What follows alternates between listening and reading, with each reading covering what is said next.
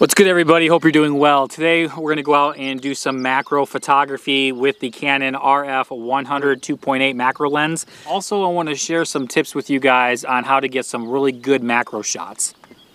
And the, the June bugs are already atrocious along the lakeshore right now. Found a really beautiful red and yellow flower. I want to show you guys a tip on how to make it look like a fresh rain just came down on your subject, uh, even when it's not raining out. What we're gonna do is have one of these little spray bottles here, and you can buy these at the dollar store or at your grocery store, very, very cheap, and just fill it up just with some regular tap water. And what we're gonna do is just take the bottle and spray just over the top of the flower and then underneath the flower.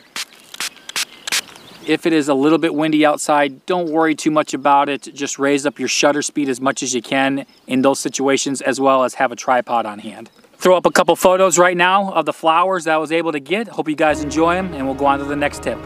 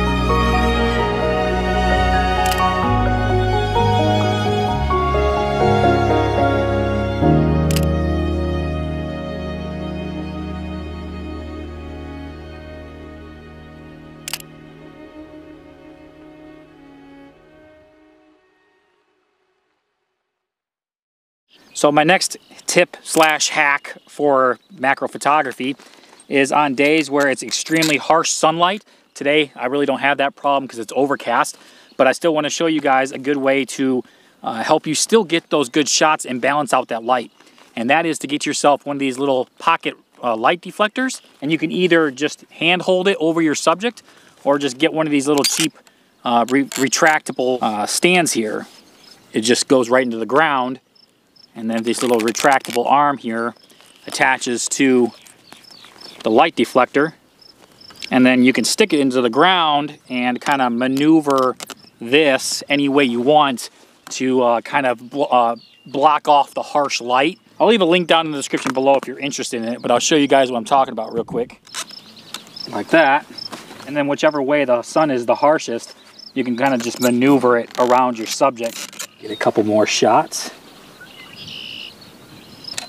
So I'm also going to utilize for my next little hack here is these little cubes, these LED light cubes. Uh, this one's by Aputure, but you can get the cheaper ones off of Amazon. I'll also leave a link to this as well if you're interested. And what this little guy is gonna do is it's going to raise up those dark, harsh shadows. Say if you're out in a dark woodland somewhere, or you're somewhere around here where a bunch of brushes, and uh, it's going to even out the highlights and the whites a lot better.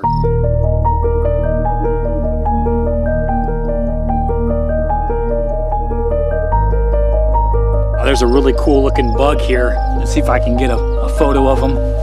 I'm not too sure what kind he is.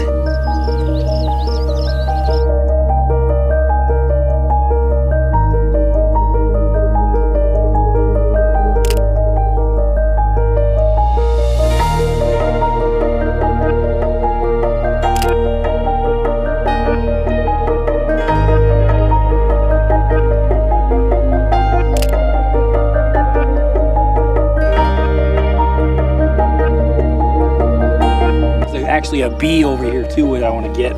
Hopefully I don't get stung.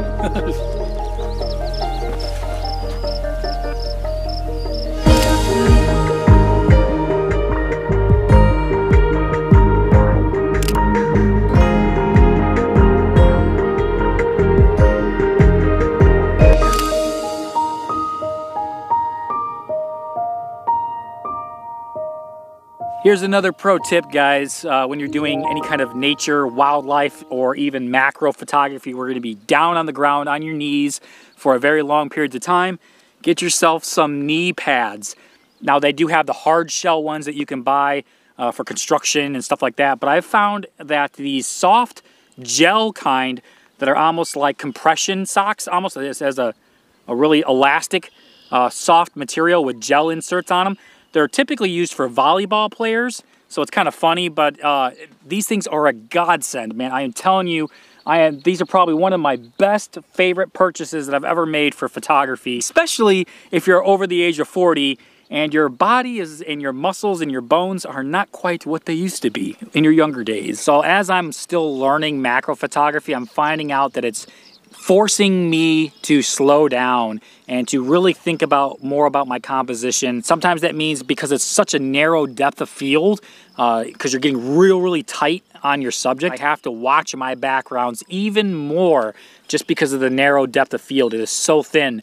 If that's the look you're going for and you're wanting to shoot wide open, say at f2, f2.8, really have to keep track of your backgrounds uh, because typically if you're wanting to get everything pin sharp, you're wanting to shoot at f9 to f16. Also a good tip is do the overhead shots, uh, not just the low angles. Low angles are great and uh, going around the subject and getting different angles that way, low to the, low to the ground, but also get high up and point it directly down. This works really good for flowers. Been hearing really good things about this uh, Picardin, Picaridin insect repellent, repels mosquitoes and ticks for up to 14 hours.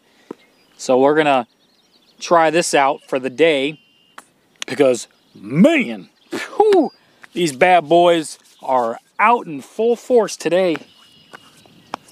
Walking around in goose poop everywhere just to get some photography and ah, the joys of nature and wildlife photography. I am getting turned into one big mosquito bite out here. Uh, but I hope you guys enjoyed those few photographs that I was able to get into the bucket. Let me know down in the comments below any other macro photography tips that you guys might have to share. I would love to hear about them as I'm always learning. Until the next video, guys, remember there's no such thing as a bad photograph, only a missed opportunity. Get outdoors and enjoy that opportunity with your cameras that's in front of you. Till the next one, take care, God bless. Cheers.